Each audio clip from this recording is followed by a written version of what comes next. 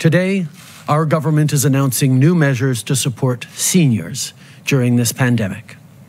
First, if you're receiving old age security, you will get an additional $300 to offset some of the extra costs you've had to cover because of the virus.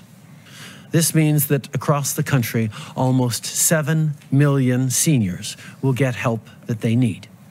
And to better support the most vulnerable seniors, we will also give an extra $200 to people who are eligible for the Guaranteed Income Supplement.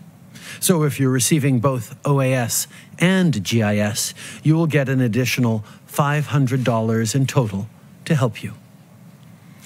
Our government is also investing an additional $20 million in the New Horizons for Seniors program. A few weeks ago, we boosted funding so that organizations could provide delivery services and help seniors stay in touch with family during the pandemic.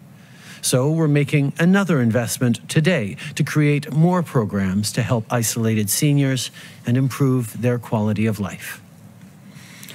Now, there's no question that COVID 19 has been taking its toll on seniors both emotionally and financially. And with today's announcement, our government is taking action to alleviate some of the stress they may be feeling. But there's a lot more work to be done, not only to find short term fixes, but long term solutions.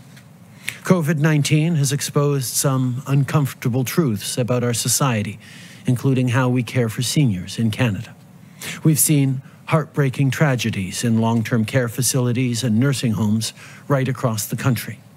Overworked staff, understaffed residences, grieving families.